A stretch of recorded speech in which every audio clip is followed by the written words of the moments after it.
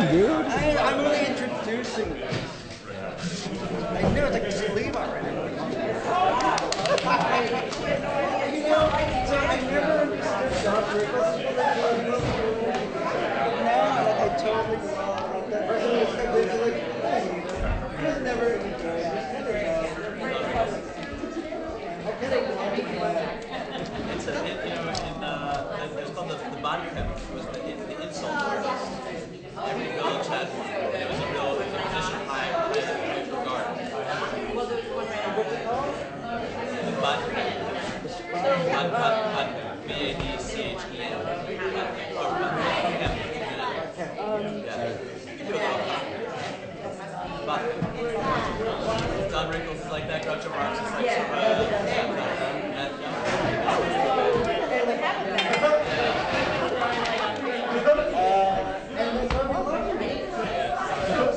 Oh, so um, hey folks, uh, welcome back from uh, welcome back from swimming, from eating, from hanging out with one another, and uh, how awesome uh, is that lake? It's amazing. I love your recognition. And it's warm and it's lovely, it's refreshing, and uh, and we get to share it together. Um, and so, thank you for being here for this for this next part of of, of today's um, schedule. So uh, this next this next thing is. Um, uh, it's one of the things that NET does, and one of our kind of uh, um, core principles, core goals, uh, part of our core mission is advocacy and that's uh, that's very big. Uh, a big part of it is has, has been explaining ensembles, just really advocating for the ensembles as a field, as this community. And there's a second part of the ensemble, which is being part of a national conversation of advocacy for the arts, advocacy for all those issues we care about, from uh, fair, equitable wages to NEA support, right? Like our, our interests in advocacy span a great deal of topics. And so, uh, so one thing that NET has done in the last couple of years, and you may or may not be aware of, and so we want to take this moment to just make sure we can build in some of- some uh, some conversation around it, is our advocacy efforts. We are members of the Performing Arts Alliance. And the Performing Arts Alliance is comprised of uh, arts organizations, networks, service organizations across the performing arts who come together and collectively uh, build strength and community around pressing advocacy issues. Uh, and here at my side is Cristine Davis, who is the general manager, is that right? The general manager for the Performing Arts Alliance. And so we're here to, uh, to talk about some of this work. But before, but before I do that, um, I just want to give a, a quick, just really short uh, mention of why it was important for NET to join the PAA. Uh, and, um, and, and like I said, we've been, we've been members now for about a year and a half. And, uh, and a big part of it was wanting to have our voice, the voice of this community, of the way that we create, of the way that we organize, of the values that we carry with us as these collectives, to bring that perspective to national conversations around advocacy, uh, to be with our peers uh, uh, who are working on similar things, to build those relationships, to find those moments of, of uh, overlap where we share similar concerns, similar, similar values, and the realities of day-to-day life just keep us from picking up the phone and connecting around them. This is a built-in opportunity where we can come together and just hear from one another what we're working on, what the issues are, what, uh, what opportunities are for collaboration uh, and for moving things forward. And so, uh, in this short time that we've been that we've been involved, it's been it's been really amazing. I, I got to say, it's one of the, it's one of I, I feel one of the most important things that Net is doing right now is is just being at that table and having that voice and and making these connections, building these relationships with our peers. And so, um, so that so that that that's what led us there, and I think what's going to keep us there. Uh, and so, so to share out some of this information and to hear from you all to inform the advocacy work of the PAA, uh, we've invited Cristine to come here and uh, talk with us and lead us through this conversation. So uh, I'll, uh, I'll hand it over to you. you. How's everybody doing? Yeah. Yeah. yeah. Post lunch, post swim, we're still hanging in there? Yeah. Good. So I have a question. Before, three minutes ago, who had ever heard of the Performing Arts Alliance? That makes me happy. What did you hear? What did you know? It was in our packet. Prior to the packet. What did you know? There was somebody who gave a great presentation at Roots a couple weeks ago. Oh, thank What else did we know? Great email. Yes. Awesome. Good. Emails. Net neutrality. Net neutrality, big one. Good. So, as Mark said, uh, Performing Arts Alliance is a coalition of 15 different national service organizations. Um, I like to talk about our membership by talking about the history of it. Um, we got started in 1977. Originally at the table was uh, the Association of Art Museum Directors and um, the organization now known as League of American Orchestras, uh, Theater Communications Group, Dance USA, and um, TCG. So arts museums were there at some point. It was the American Arts Alliance. Change was made to focus just on performing arts, and then the membership was uh, Arts Presenters, APAP, and still the League, and Opera, Dance USA, and TCG. So that was sort of five categories of the arts. Um, 2007, fast forward 30 years, membership started to change to incorporate organizations, NPNs, NPN in the house? In the house. NPN, um, NALAC, um, uh, National Association of Latino Arts and Cultures, we have um, NET, and Roots joined the same year in 2013, alternate Roots, now there's a lot of crossover here. Um, also Chorus America, um, National Alliance of Musical Theater, uh, Chamber Music America, Composers Forum, basically more diversity within those major categories of the arts, but with those organizations came a larger constituency of artists. And the conversation at the time was still um, really organization speak, and issues were sort of framed according to what organizations were facing. But as membership changed, we were realizing responsibility for how we talk about the issues that are on our platform to be more reflective of the fact that there are more artist representative groups at the table. And then what else should we be aware of? We always um, have that federal platform. Um, we get asked a lot, well, how did you pick what's on the federal platform? Um, the issues that we advocate for in that packet, um, National Endowment for the Arts funding, arts education, not just uh, arts education funding, but also the treatment of arts education in the Elementary and Secondary Education Act, currently known as No Child Left Behind, that education law. How does arts education get treated in that legislation? Um, net neutrality, what, is that, what does that mean for artists when um, finding regulations are out and being put into play? Uh, cultural exchange, we've had a lot of conversations about cultural exchange so far. Um, I wrote them down because I knew I would forget, it's post-lunch. Charitable giving, um, IRA rollover, tax uh, deductible, tax deductible donations, and visa processing. Those are issues that, um, if anything were to happen to federal policy, every arts organization, it would have some kind of effect um, with giving, with bringing artists in to fill their season, with um, perhaps even posting content like this if there was something blocking them from doing so with, through net neutrality. So those are sort of our standard issues that we know will always have a reach throughout the field. But the way that we talk about this issue needs to be reflective of the field and the way that they are playing out. Um, when we realized that we had an um, opportunity to connect through artists, um, we said, well, instead of just sort of guessing maybe how artists might think about arts education or the NEA, we should just go and ask them. And when I say, right, it's kind of, kind of makes sense. So as I realized the opportunity, um, I'd say what, maybe almost two years ago, we, um, we divided our board into task forces to look at specific issues that we felt we could manage, um, that we, within our resources, we don't want to, you know, everybody uh, has sort of their level of expertise. And we divided ourselves into a task force that would look at issues um, associated with independent artists, and that's sort of where this project comes from. We would look at diversity and inclusion and how that um, plays out, not just within our own members' constituencies, but what does that mean for us as a collective of 15 service organizations? Where does that fit in our values and how does that play into our platform and our work? We're looking at um, where could we be effective in research in the arts, and also in what could we do for audience development. So we, what we are doing uh, today is a part of that independent artist track. It's the learning exchange. And we just want to take some time to talk as a group and then also talk in little groups. We've got some areas around the room about different policy issues that are on our platform.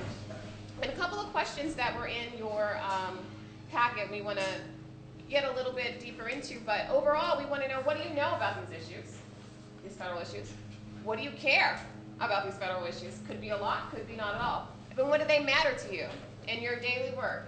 How does uh, NEA funding trickle down to what you do every day? How does um, a possible change in a charitable giving uh, policy affect your donors and your work that you do? And also, what else? What else should a national organization that, re that represents uh, the performing arts field be aware of that it should be paying more attention to in its advocacy efforts? So that's what we want to talk about today. So that's a lot. Any questions before there's more? Thoughts? Head nods? Awesome. Can I ask a quick question for y'all? How many here um, self-identify as unaffiliated independent artists? Great. How many here identify as members of an organization? Cool. to, to piggyback on that, organization people, are you organizations of artists or organizations of administrators? Let's see, organizations of artists Arts organizations. and organizations of arts administrators. Both. Can we have a third category of cultural workers? Yeah. Cultural workers. Great, lots of crossover.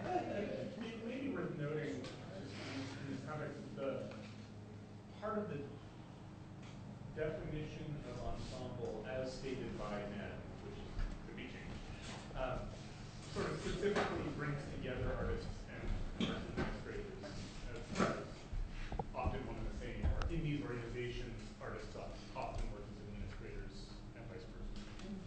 That's why it gets a little gray. Yeah. Both and. So, um, what I wanted to do next is to sort of give an overview of some of the federal arts issues on the platform.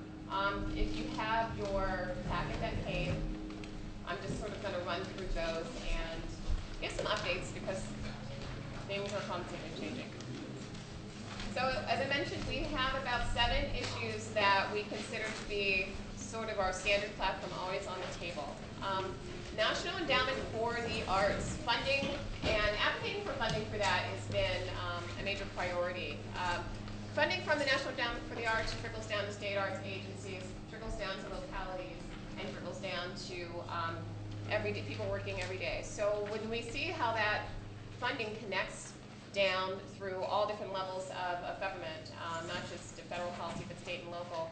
Um, it's really important that it be protected at the source and that there is a federal arts um, body providing that leadership and that with the NEA in place, it's just an acknowledgement that it is important for the government to make an investment in the arts as we see how it affects state and local. Um, a lot of the arguments for the NEA being um, sustained are that look at the economic impact that the arts community makes. Um, investment in the, in the National Endowment for the Arts spurs um, a lot of private dollars. So for example, organizations will get money through their states from the NEA and then have it matched. Um, it allows for other people to see, oh, well, if an NEA grant is supporting work, then there, there's a little bit of prominence there that helps with the fundraising.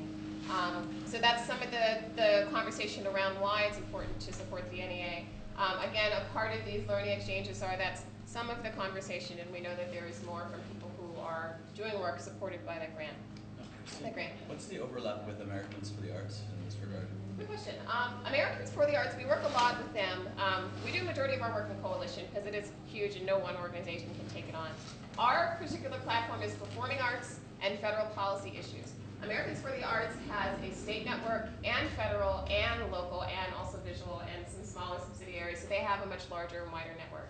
So we overlap. Um, we work with the, we work on their Arts Advocacy Day event. We're one of the national co-sponsors um, that helps to put together the, the booklet and the planning the organization. So we overlap um, with a lot of the policy issues. Questions? Um, next up here, we have arts education at the U.S. Department of Education. I did talk a little bit about that, but that issue is twofold. Um, not only uh, do we advocate for the funding of the arts and education program in the Department of Education, but also in the actual legislation that um, authorizes um, education policy. Uh, what's now known as the No Child Left Behind Act has for um, pretty much the majority of this year been up for rewrite in both the Senate and the House. They have been putting together different versions of the law that are looking at um, sort of the effects of the standardized testing and the stripping down of the school day and um, all of the uh, standards and the scores and how that's affecting teachers' jobs. And what our concern for the arts education aspect of that is there's very specific language in the legislation that outlines what is considered a core academic subject. There's literally one sentence with a bunch of different um, topics listed in it, uh, mathematics and reading and social sciences and et cetera. And uh, our particular coalition was very clear about the arts needing to be stated and listed out in this sentence because if you're labeled as a core academic subject, it opens up um, a variety of areas for federal funding for programming in schools. So that literal listing in legislation is something that we, we worked on in coalition. Um, glad to say that when we saw the Senate's version of the um, their version of the No Child Left Behind uh, rewrite, the new law, that particular sentence about core academic subjects did contain arts. So that in that particular version of the law, it would allow for arts education to be eligible um, variety of spending. So for example, Title I funding, um, schools that receive Title I funding can use it to, um, to support their arts education programs. Um, Cristine, what is Title I funding? Title I funding is for, oops, definition time. So Title I funding is for students um, for dis, I, I don't like the term, um, disadvantaged. I don't like that term, but if you understand what I'm trying to say. Underserved. Yeah, underserved uh, for populations of underserved students. So it's a particular funding stream that allows for um, programming or um, don't like the term intervention. That's the term, that's the language that gets used, but that's what that pot of money is for. Um, and uh, so with, see a hand. Yeah, for schools. Correct. Right, it's for schools, so for, but the, yeah, for school districts, and it's based on who is in the, the school's population, of whether they get, they get that designation. So, yeah, you're welcome. Stop me if there's jargon. Please do, because there's a lot of it. Um, so, for example, I said that in the Senate's version of the bill, there was that particular language about arts education. Um, Senate creates its version of the legislation, the House creates its version, and they have to come together.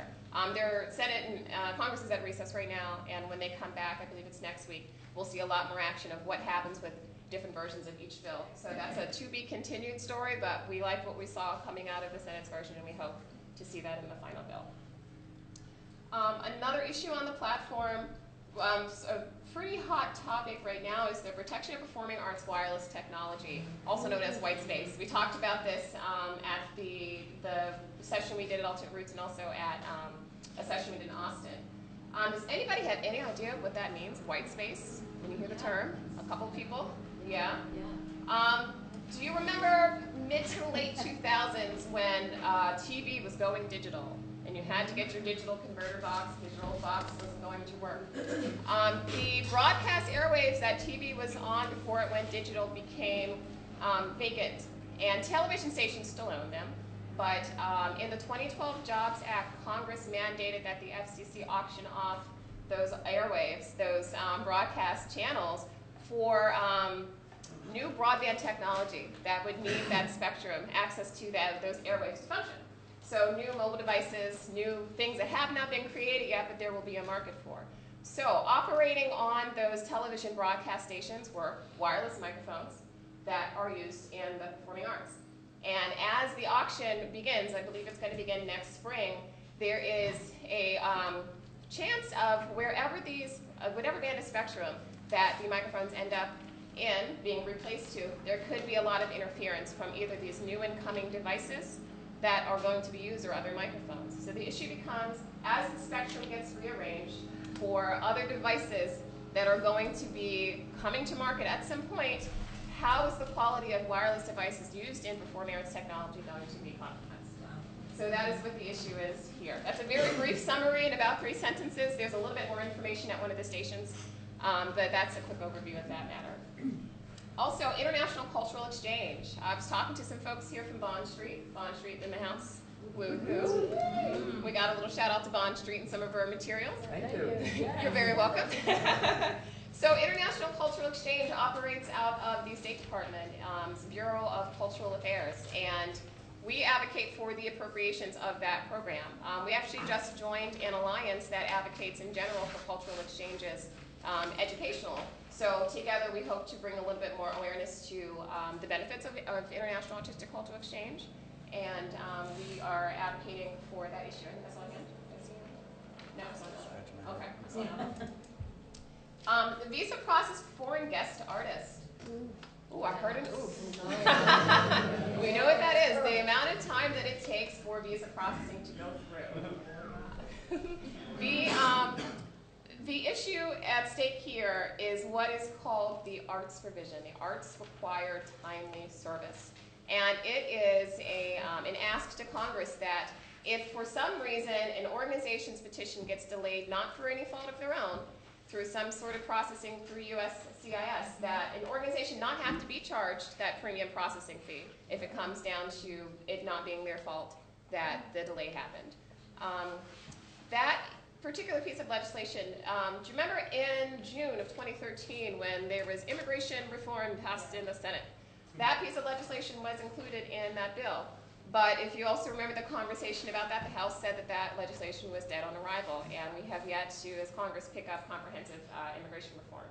So that is um, a piece of legislation that we're hoping might get um, might come back to surface as that conversation continues. As what can we do to improve that visa processing um, situation? And also net neutrality. And people following net neutrality. Right? So the issue here at stake was can internet service providers um, do anything to harm or slow down or block legal content um, that is posted to um, various sites, YouTube, um, Vimeo, any place that people have the access to have that freedom of speech, to express themselves, to reach new audiences, to promote their own work. The internet should be that free platform where they're able to do so. So in this particular case, um, in February, the FCC came out with a new set of regulations about, um, about net neutrality. Uh, last January, their old rules got kicked out. They were basically told by DC Circuit Court that they didn't have the authority to enforce them the way, the way that they were laid out. Um, the FCC had been, had been, over the last year, having um, a lot of open comments um, periods with the public about saying, what do you think is the best way to enforce rules of the internet? And they used an authority in the Communications Act um, that basically allows them to regulate the internet with the same authority that allows them to uh, regulate telephone services. And considering that the internet, or internet as it is used now is much more of a utility than um, anything separate from that, the way that people are using it um, on a daily basis. So in February, the FCC came out with its latest set of rules that categorizes internet activity as the same way that we would categorize telephone services. And they felt that that was the strongest legal authority to create rules that would prevent internet service providers from being able to block lawful content or slow it down. Those rules went into effect in June, mid-June. However, as um, appropriations in Congress were playing out, both the House and the Senate put some riders into their bills trying to prevent those rules from going into effect. Um, a lot of the arguments are saying that it wasn't broken, so there were no rules needed to fix it. Um, and a lot of, some of the arguments are that, well, if Congress creates laws to regulate the internet, then they won't change every time there's a new FCC commissioner. So as it is right now, the rules did go into effect in June. Um, the final legislation that, that particular, those particular um, those particular writers coming in from Senate and from the House were in the bill that funds, it's called the General Services Bill.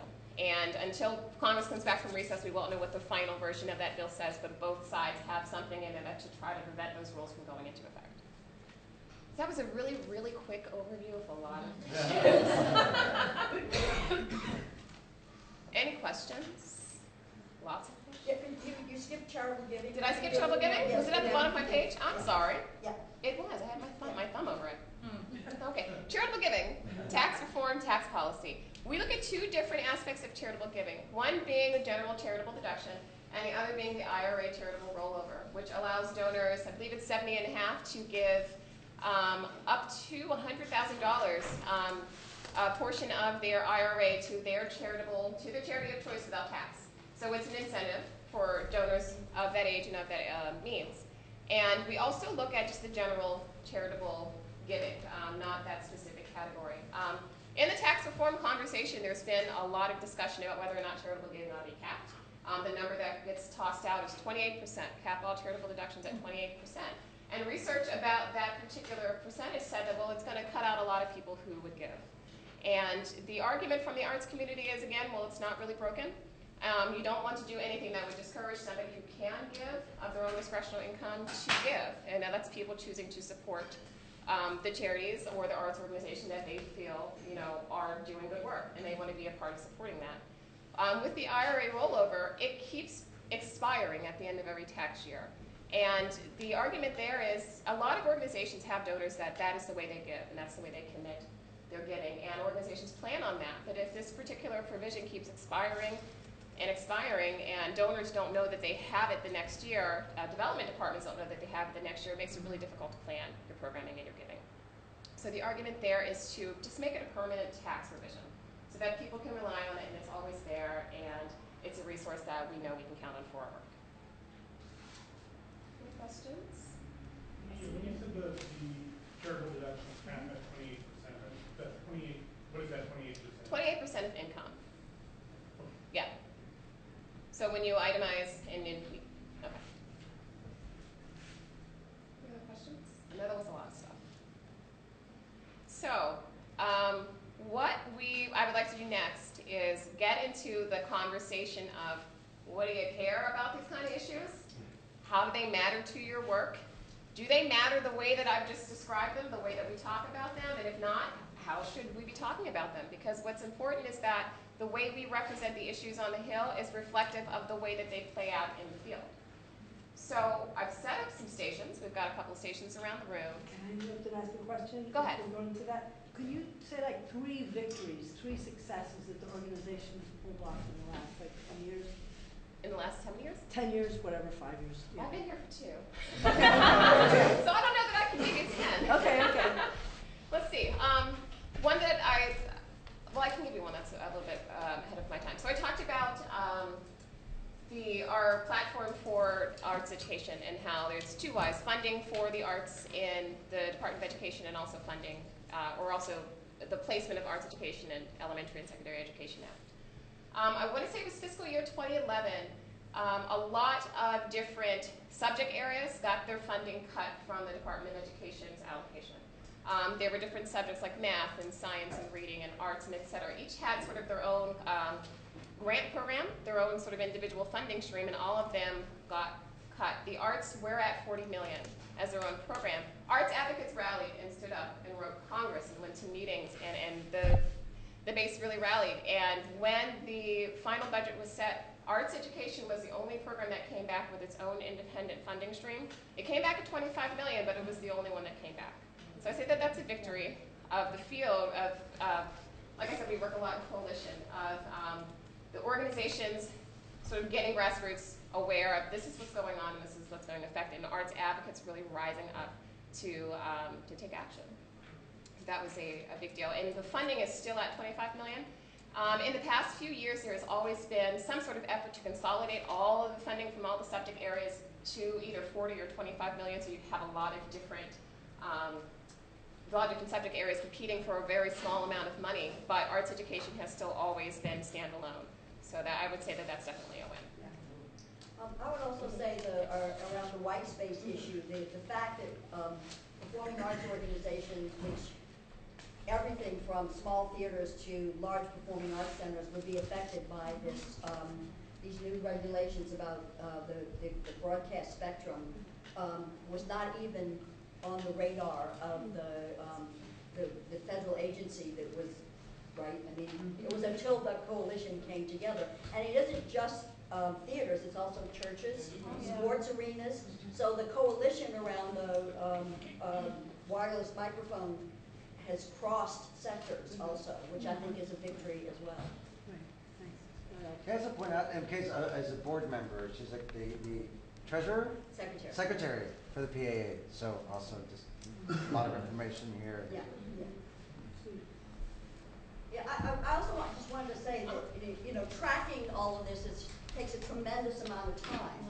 And by being in coalition with other national organizations, um, there are people doing this work for us, tracking the legislation, um, letting us know when we need to act on issues. Um, because there's no way that independently we could be active in this way at the federal level.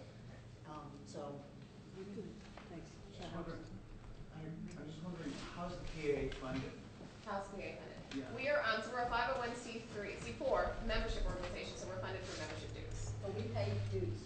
All, so like NET is a dues paying member of PAA. No, I understand. Because y'all are doing the research, uh, you and Americans for the Arts, um, it, it pays us to trust you a lot. Um, but at the same time, to keep our ears to the ground and, and offer advice if we have things that come up. But overall, these are really trustworthy people, they're doing the work for us. And so, yay. Appreciate that. Because none of us have time to do the work that you guys do. It's a lot, like, it's all about coalition and partnerships. I think we've all found that to be true for everything, but it's all about coalition and partnerships. There are some members, like, for example, uh, TCG takes the lead on, their government affairs person takes the lead on the net neutrality issue. Um, and, uh, what is it, the, uh, League of American Orchestras, their person takes the lead on arts education. So we all, i- within our coalition, have someone who takes the lead, and then we come together to work collectively. Just one other thought, I mean, since y'all are in the room with the sausage machine, the stuff that makes the legislation is like making sausage. We all have ideals of how we want things to work. You have to deal with the nitty gritty of what's possible within those things. And so that's something, that's just a note for ourselves, because, you're actually having to deal with intense detail when we say, well, how come there can't be more money for the arts, you know? Um, but when it comes down to, you know, how those allocations are made and who's doing what, um, on the Hill, um, you know, uh, Victory was the, the, the House zeroed NEA several times in the last several years. And it took a lot of work from this agency, from of the Arts, a lot of citizens to get them to turn. The Senate included it, went to conference, and it took a lot of bugging people. And so the, the flip side of that is when these guys send out an email and say, bug your congressman, do it because it makes a difference.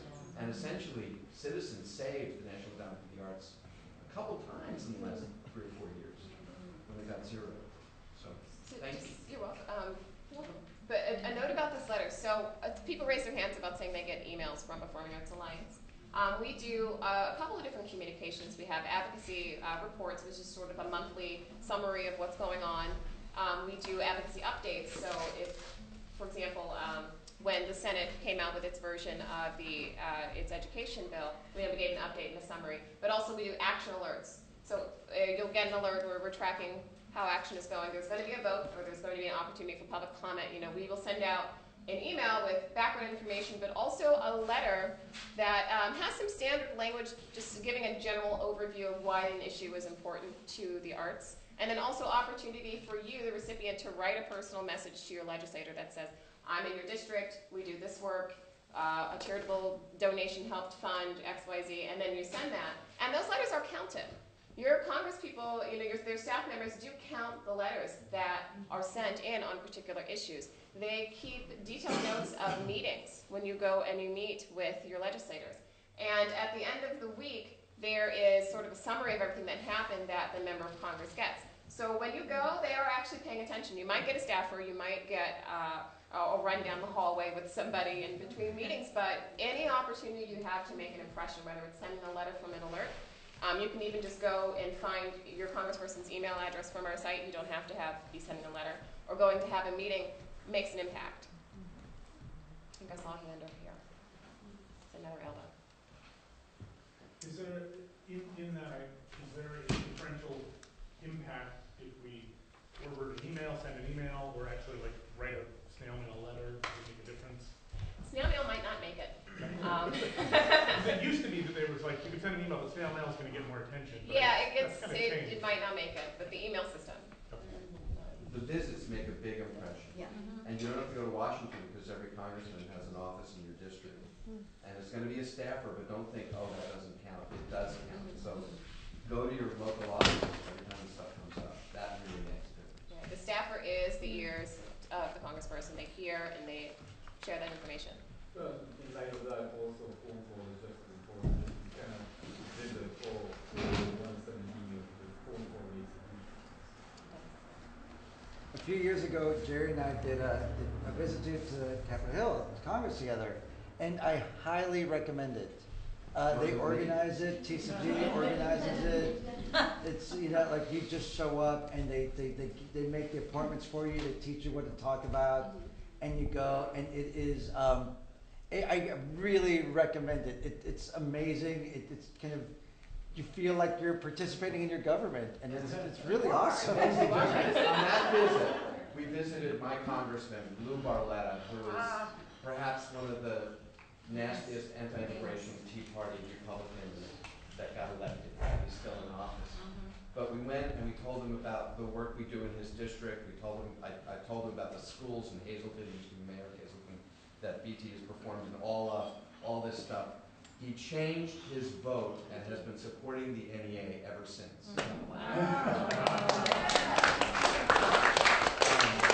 But not because we were, we, we, you were there, and Teresa was there, and it was like, um, part of it, uh, was just that knowledge of the district, and the knowledge of his hometown, and, and that this is making a difference, and, and you're voting for this means that this institution can stay in business, it's gonna serve kids in your district. May, and, and he, he hasn't gone back, it's one of two issues he's bolted the Tea Party on, that and, and flood relief. So it I is- still will vote for him, but Don't tell him that. he knows. today. so what we wanted to do, I guess this is exchange part, is um, have a chance for you to think about the issues as they are presented in, um, there's some papers that are around. Um, at each station, there is a different uh, topic from that short list here. And there is what is called our issue brief. Um, the issue brief, if you've been to Arts Advocacy Day, it is um, a list of talking points, it's a summary and some background and some talking points about why an issue matters. Um, we want to know if the way we talk about issues is reflective of the issue to you. Is it, is it far outfield? Do you feel yourself represented in it? And what else needs to be said? Um, again, if we are to be representatives of the field, then the field needs to be reflected in the way we talk about issues to your congresspeople, or as the way we talk about issues when we're strategizing. And if it, if you think it needs red ink, I think there's a red marker. Um, and we've got some areas up to take notes. Um, so the goal is just to really look at the issue and say, what is this? Does this matter to me? Are they, am I reflected in the way people are talking about this issue on a national level? What is missing? What else should we be talking about? And have that conversation and, you know, give us some feedback on these sheets of paper that are here. So we get some, some breakouts. I, I just wanna say a word about charitable giving, especially if you're a small organization. You, you may think, oh, I don't have a lot of donors, or the donors who give to me aren't really concerned about tax deduction. But remember, it affects people who give to foundations. Mm-hmm. And I'm sure a lot of you get grants from foundations, so it may not matter to the donors you're in direct contact with, but the foundations who support you, that really matters to them a lot. Mm-hmm. So that is an issue to pay attention to and be attentive to, even though you can't, you're one step removed from that line of thinking with your donor. So. Um, in Washington, there are a lot of compromises that are, that are usually made. Um, part of our discussion is that, is there a boundary or restrict, a, a, space where we choose not to go as PA or as part of the arts? Is you choose not to go to. Well, you, you don't wanna make a com, is there, is there a line that we draw that we don't wanna compromise beyond? I'm gonna say no. So you will Maybe we don't know. compromise, uh, on all stages, and therefore maybe it may look like a compromise, but it affects more people negatively than positively. I guess I'm not sure what you mean when you say a compromise. Um, it's, I, I was not out, it's including, um, the, the net neutrality. And our our, we didn't wanna compromise the, the fact that they need to make it a Title three or Title six or something. Um, we, we needed to make it that, and there was no compromise for that. And rather than saying that, you know, we, we will wait and see, which is where Congress is right now, wait and see and wait until something is broken. And then, you know, by that time, you will have implemented policies from, from Verizon and AT&T and Cablevision, and will have been harder to change that. So the, the compromise I'm talking about is that the, um, larger corporations pushing us back, and we think we're getting something, but we actually losing out. So you're, so you're asking, is there a line that we would not cross? A line that you will not cross, so we, we, the community does, does not cross. I still have to say I'm not sure. Um, that, I, I, Specific to, I mean, each of these areas would have different. Yeah. Yeah. That- No, that's what I'm saying, I'm saying. I don't think we've been one line, I'm confronted. is there a line Yeah. that you, It, it, it just doesn't come up that, um, simply.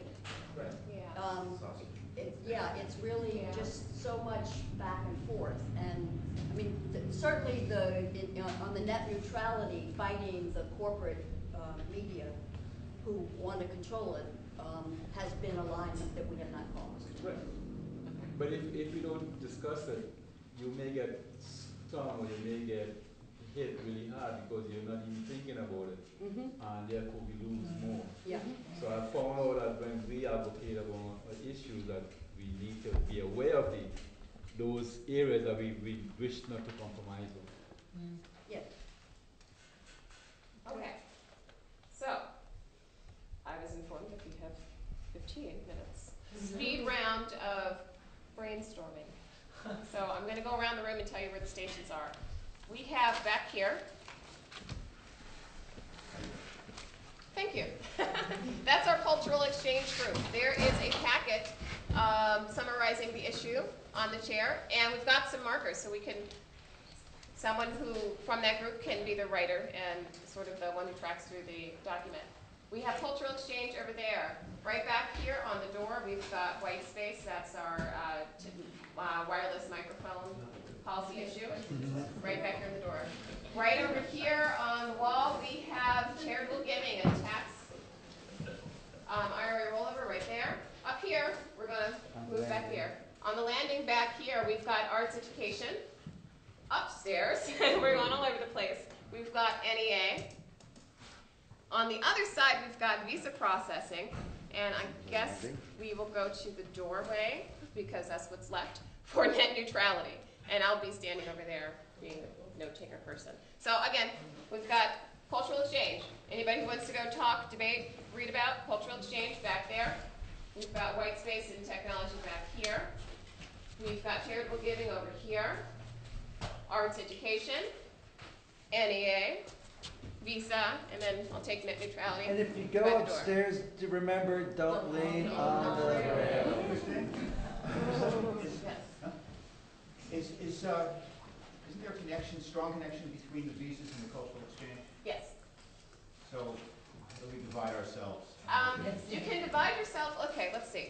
Cultural exchange, I guess we can come together if we need to. Could they come together? But in cultural exchange, in the, um, the way that we talk about it as uh, appropriation for the program in the State Department, um, not necessarily um, how artists who are being funded through exchanges receive visas.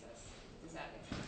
So we, they are, they are connected, but the way that we talk about the two issues, we don't um, weave them together. Thank you. You're welcome. So yes, combined Um, no? no, let's leave them separate. So we've got, at each station, we've got markers. So if someone from the group wants to select be the writer of the thoughts, and we have a, um, a summary. I know, you just got it much better. Couple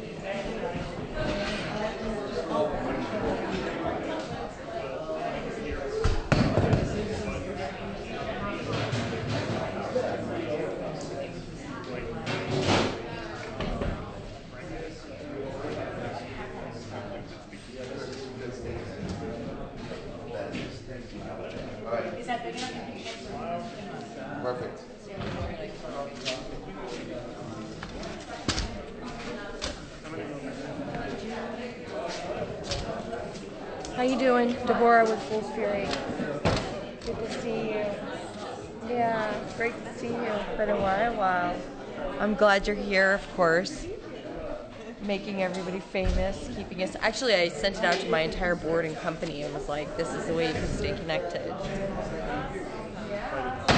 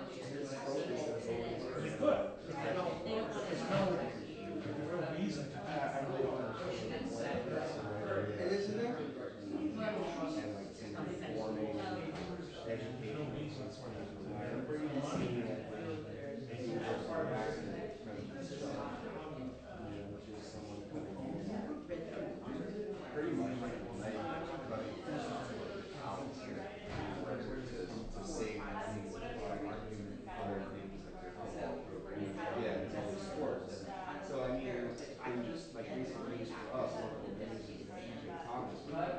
Huge people on that side. That is good for the economy. All kinds of economy travel shows. Allows, um, others like college students, high school students, community groups to use the space. Really shut it down.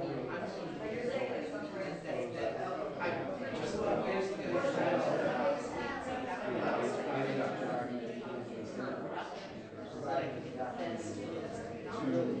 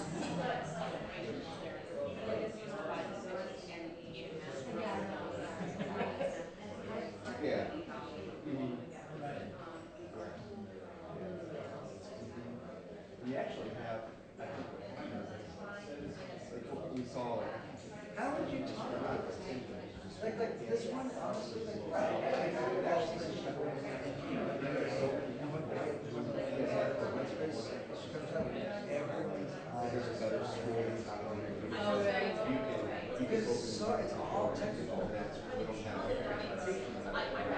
But you take the what happens in schools, schools, you know, there's that strong Because you have,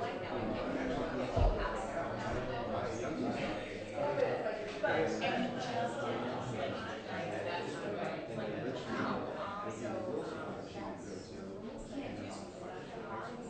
Well, we're fortunate.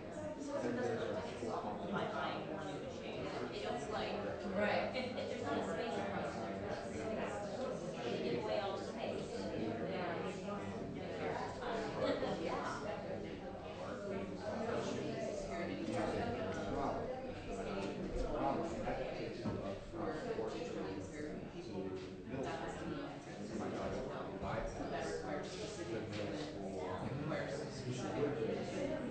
frequency. And a- again, you know, if we're trying to make things more accessible to other disabilities, um, if if we want, you know, sight challenging people to be able to attend theater experiences, we have to meet some of the requirements.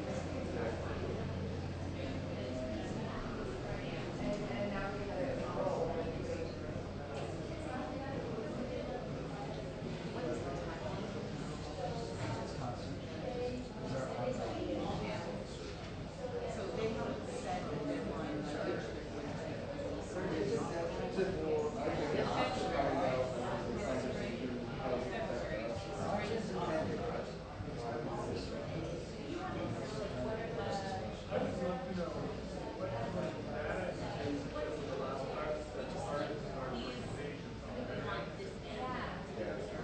They're, they want to, as